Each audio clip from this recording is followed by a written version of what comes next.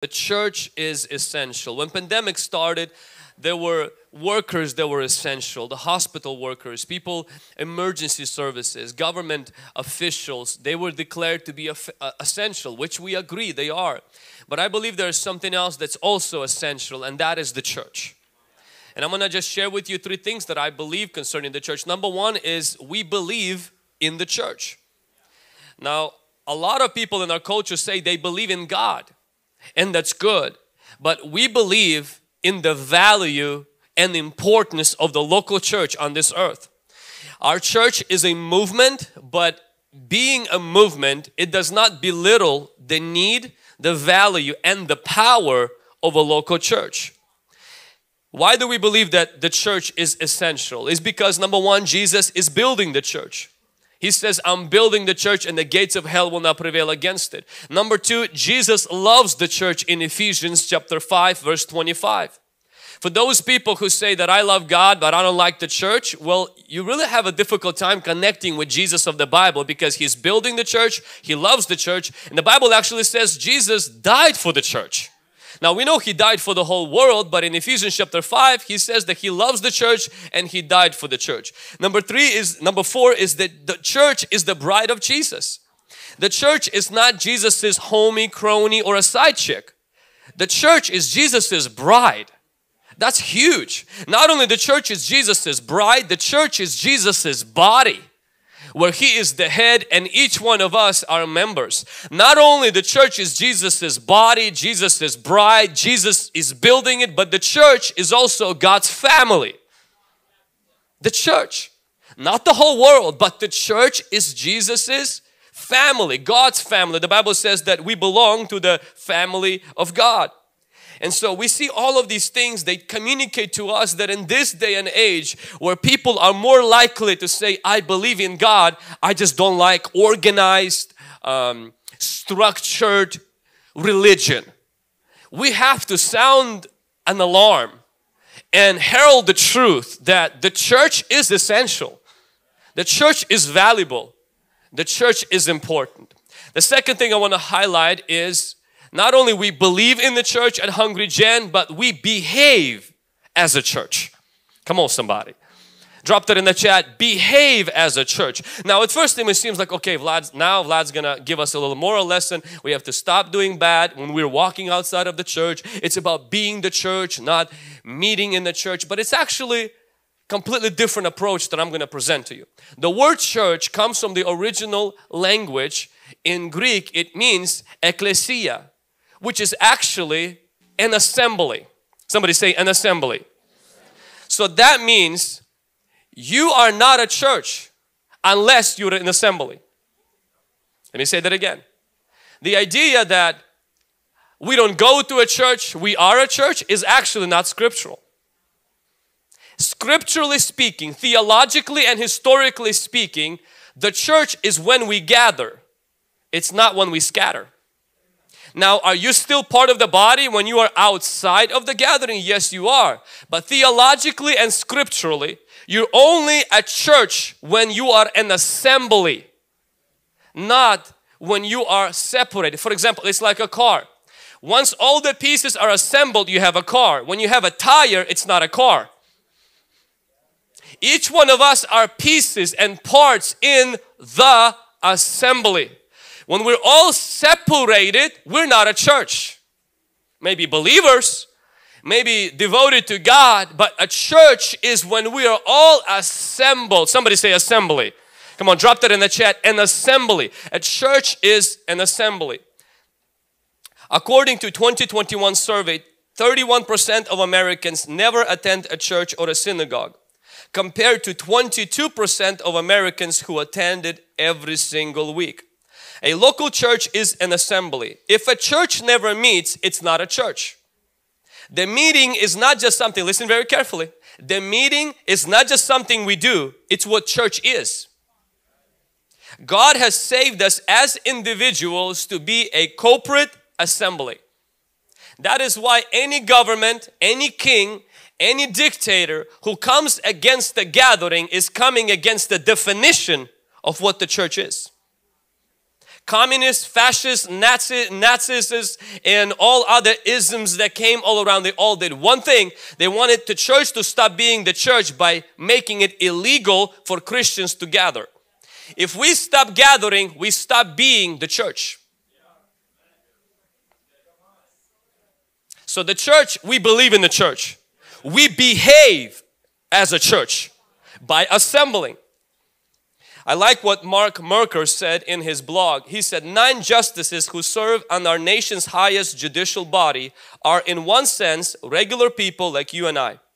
They walk the sidewalks, they shop at local, local grocery stores. You might find yourself sitting next to one of them at the Washington Capitals hockey game or an opera at the Kennedy Center. They're all influential individuals on their own, of course, but in the deepest sense, they are who they are as an assembly. When the Supreme Court justices meet as a court to meet formal just judgments, they take on a unique joint identity. Together, they wield an authority far greater than the sum of their parts. Thus, lawyers introduce their remarks not by saying, may it please the justices, but instead may it please the court, singular. The Supreme Court is a corporate institution, one that depends on its nine members convening in space and time. In a similar way, God has designated the local church as a people who meet. It does not work any other way. I want to completely shatter the concept. I am at church who does not gather as a church. It's not scriptural. I know it sounds cool on Instagram. I know you can get really a lot of likes on Pinterest. It's just not scriptural. God says in His Word that we should attend the church regularly. In Hebrews 10 25, not to give up meeting together. Worshiping Jesus together is a powerful experience. Jesus says, Where two or three are gathered in my name, there I am among them. Matthew 18 20. Paul is writing to churches to reg regularly gather together. He would use phrase like, when you come together as a church. When the whole church comes together, 1 Corinthians 11, 18 and 1 Corinthians 14, 23.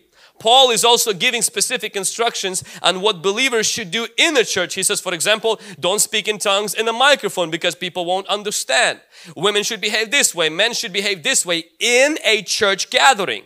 Not as a church believers outside and home, but he also gives instructions on how to act in the actual church gathering. He also talks about discipline that is given in the church. For example, if one of the believers, you know, upholds heresy or creates immoral lifestyle that he doesn't want to repent and change, he says, present it to the church and let the church judge as a corporate body, as an assembly. So the view of the church in the New Testament is it's a gathering, it's an assembly, not I'm an individual, I don't care about organized religion, I just serve God, listen to podcasts, read my favorite books, and me and God are cool, I just hate church. If you have that approach, you are deceived and you're lost. I'm not saying you're not going to heaven. I'm saying you're confused and you're not scripturally sound. You may say, well, you're a pastor, of course you're going to sell the church. No, I'm a Christian who loves Jesus and Jesus died for the church and I'm going to advocate for the church. Come on, somebody. The food was sweet, the message is strong. The last thing is belonging to a church. So not only we are believing in the church as Hungry Gen, we actually behave as a church by gathering together. And number three is we belong to the church. Somebody dropped it in the chat. I belong to a church. Say this with me. Belong to the church. Belong to the church. USA church membership was 73% when it was first measured in 1937. 73% of people in the United States in 1937 belonged to the church. Not just believed in God, actually were a member at the church. Come on, somebody. Lord, bring us back those numbers. And it remained nearly 70% for the next six decades before beginning a steady decline around the sum of 21st century. In 2020, so that's two years ago, membership reached at all-time low of 47%. Now I'm gonna go after another sacred cow. And this is the sacred cow. I belong. I, in other words, I go to the church. I hate membership. The idea of membership has a negative connotation in our culture. We don't like memberships okay we just don't like memberships uh, because memberships there's just something about being a floater being free uh, nobody telling me what to do not having any commitments that our culture is extremely thrives on. We love to live in my our parents basement and vote for people who can supply us endless supply of welfare checks and take care of us so we don't have to work we don't have to be responsible and so that the rich can make all the money and we take their portion so they share and distribute the wealth. That is our mind mindset. It's not biblical. God wants us to work, God wants us to be responsible, and God wants us to have certain commitments in our life. Concerning the local church, I'm going to advocate why every person who claims to be a genuine believer needs to belong to a church. Now, you don't have to belong to Hungry Gen Church.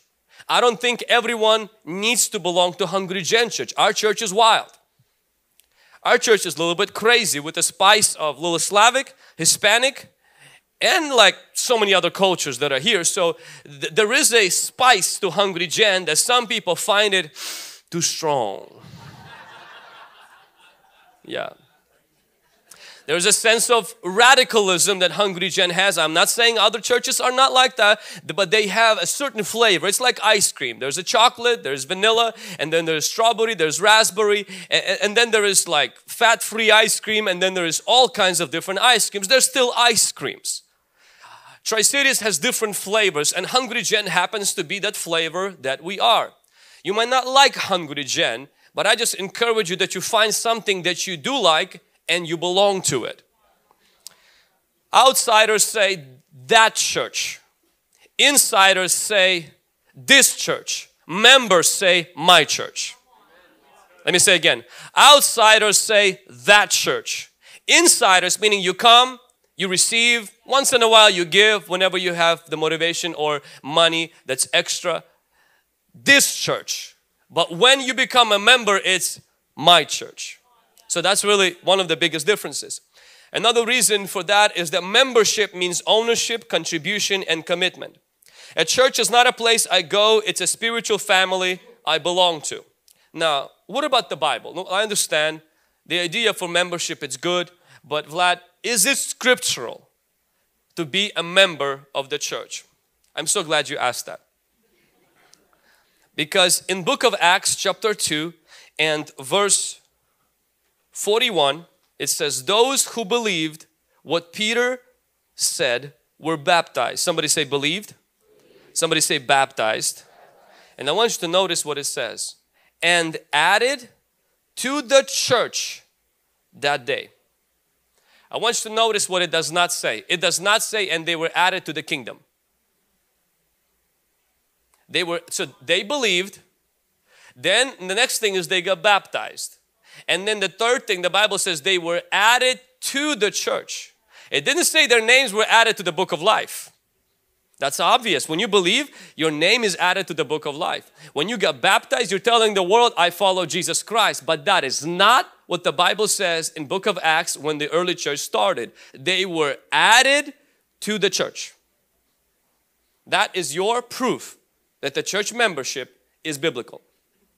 It's not just about believing and getting baptized and floating and church hopping. It's about making a decision to be planted in the church that you feel like God is leading you at this season or at this time in your life. It's not enough to listen to podcasts, watch streams, and hop around from one live stream to another while your kids are watching Pokemon in another room.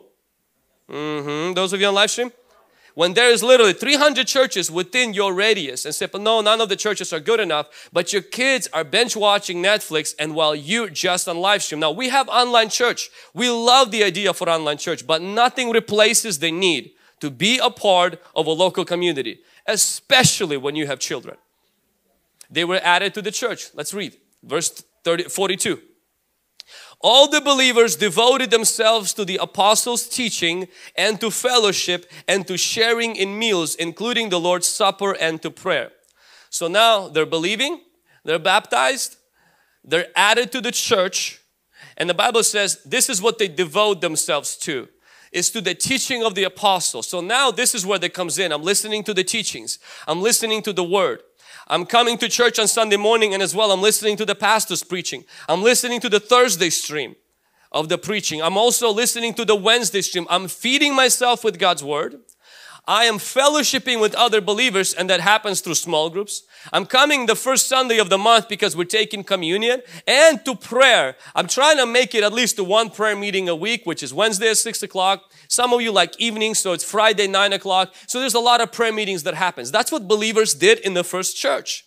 This was not a Sunday morning experience, Sunday morning experience only. It was added to the church, devoted to the teaching, devoted to the fellowship, taking the Lord's Supper and devoted to prayer. Are you still with me? Do we need another round of uh, whatever that we were eating? Are you still with me? Okay, let's go a little bit further. In verse 43, a deep sense of awe came over them all, and the apostles performed many miraculous signs and wonders. So, what this means is this a local church is not only a place where we fellowship, where we study the word, where we are added to the church, but it's a place of signs and wonders. A local church is a place where people are constantly falling in love with God, not just because of the music, but because of the miracles that they see.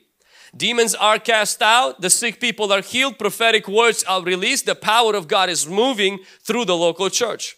We are believing we are standing in this that not only on our Sunday mornings, but throughout the week, our ministry is at the forefront of the supernatural signs and wonders. So many people were being healed on Friday during our Friday fire. So many people were being delivered during our digital deliverance. I mean, demons coming out like nobody's business. So many people being baptized in the Holy Spirit on Wednesday virtual service. People will be getting saved today in the parks. Why? Because we are about the kingdom and the kingdom of God is signs and wonders. We will never apologize for speaking in tongues. We will never apologize for casting out demons. We will never apologize for believing that God still heals today. We will never apologize to believe and to stand in the fact that God still speaks today through visions, dreams, angels. Why? Because the church of Jesus Christ that He's building, no gates of hell will prevail against it. And if you are alive and breathing, somebody say amen. Drop that fire emoji if you're watching us right now. Signs and wonders belong to the church today. It's the glory of the church. It's what distinguishes, this, distinguishes us from the social club. Amen. The Bible says after that, verse 44, and all the believers met together in one place and shared everything they had. They sold their property and possessions and shared the money with those in need. So that tells us not only we have the supernatural, but we have radical generosity. I believe this is what Hungry Gen is. We're not, for those of you who still struggle with the idea of tithing, we're way past that way past that. It's about radical generosity. That means that we go above our means. A lot of us live above our means. God wants us to give above our means. And it's not just we're bringing tithe to the church, but we're also helping each other and those who are poor. And to tonight, a group of people is already flying to Mexico. Not only the finances that you guys gave toward the Mexican trip is going to be deposited, but a lot of our people, including me and my wife, are taking the things that God has blessed us with and sending it there to find people that are in need so we can be a blessing. Why? Because we as believers are not just blessing our church, we want to be a blessing through our church to those in need. Come on, somebody. The Bible says after that, and just few more verses, verse 46 they worshiped together at the temple each day met in homes for the lord's supper and shared their meals with great joy and generosity. So that tells us there's two large, two gatherings that believers were a part of. Temple the temple speaks of the church gathering it's larger and then homes and that's our small groups. The early church operated like that and the church still operates like that. Our church is both large gathering on the weekend and then small gatherings throughout the week in small groups and they ate their bread with joy and gladness. And the last verse verse 47 all while praising God and enjoying the goodwill of all people. And each day the Lord added to their fellowship. I want you to notice that. Again the Lord didn't just add names to the book of life. He actually added to the church people who were being saved. And I believe this is what we're going for, is that we'll be praising God, we will have a goodwill in our community, meaning people will speak well of us, not because we're trying to please them, but because we're trying to serve our community. And God's going to be adding people daily to our church. That means we're going to numerically grow. It is God's will for the churches to grow. For those of us who may be like, I just want our church to stay small so I can remember and know each person, we will not be able to stay small if we're going to be a biblical church. God's going to start adding people by Himself, but we're going to be also bringing new people to the church in Jesus' name. Amen. So, we believe in the church. We will behave as a church by assembling ourselves together. And number three is we will belong to the church, meaning we will make an official commitment. Say, hey, I'm not just going to Hungry Gen. I am a part of Hungry Gen. I am not just visiting Hungry Gen. It's my church. I give to Hungry Gen. I serve at Hungry Gen. I pray for my church. When my church has a problem, it's my problem. When my church has a victory, it's my victory. I belong to that church. If Hungry Gen is not that church, find the one you can belong to and feel good about and have your children have their future in that church. And Hungry Gen is the best place to be. Hey, thanks for watching this video. If you enjoyed this content and this was a blessing to you, would you help us and hit thumbs up so that it could help more people to discover this video. It costs you nothing, but it can go a long way to help with the algorithm. As well as if you're not subscribed to our channel, hit subscribe, click on the bell so that you can be reminded each time that we upload videos. Thank you so much for being a part of this community. If you're interested in learning more about Hungry Gen, our internship, our conferences, deliverance, and so many other things, go to hungrygen.com for more information. And as always, remember, better is not good enough, the best is yet to come.